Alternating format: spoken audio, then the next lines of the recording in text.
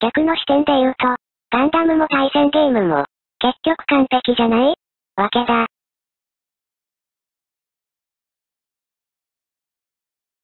現実なら、アニメのように合体して強力な敵に立ち向かうことができるかもしれないのに。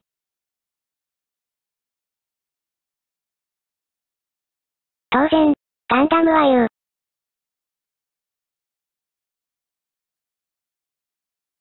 再現はしてるよ。結果は見えないけど。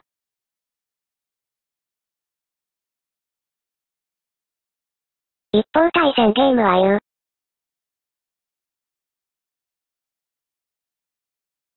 3対1とかは再現できるけど。それは合体したのと同じことじゃないか？とは言うが。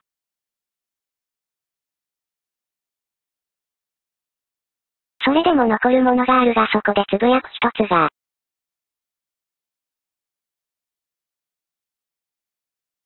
なぜそんな無駄なことが必要か？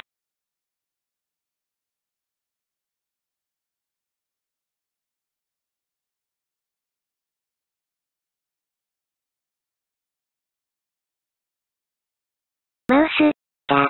意味がないだろう。費用対効果が悪すぎる。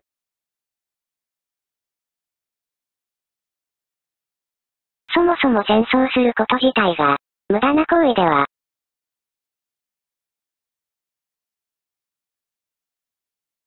マウスの存在意義、それはポインティングデバイスとして、最も費用対効果が良い、という特性。それ、に、必要性を与えると、それはその存在意義で全体の冷却を行ってくれる。